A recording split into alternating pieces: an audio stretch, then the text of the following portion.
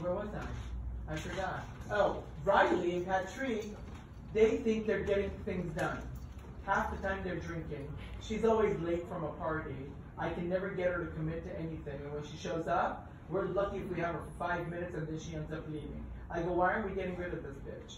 And Patrick goes, but she's so pretty. She's your muse. I go, not when she's not here. Not when I can't communicate with her. Not when I can't do anything.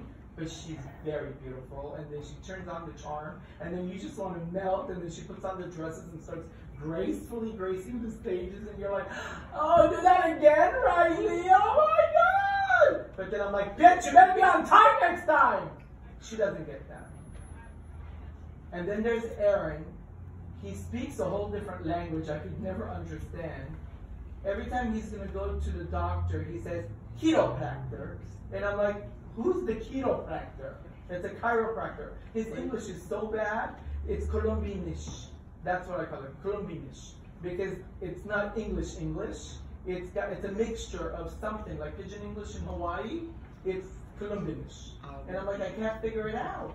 And I have to ask him multiple times, and especially when he's wearing a mask and he's so soft spoken. He's like, babes, but babes, but baby.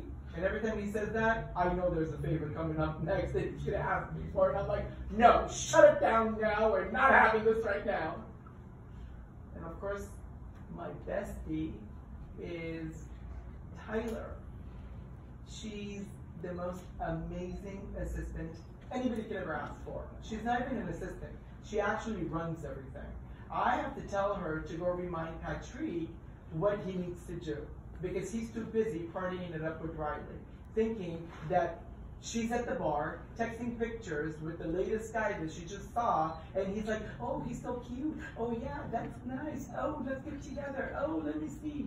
And Tyler's like, "I need so and so. Paul needs it right now. Where's my bell?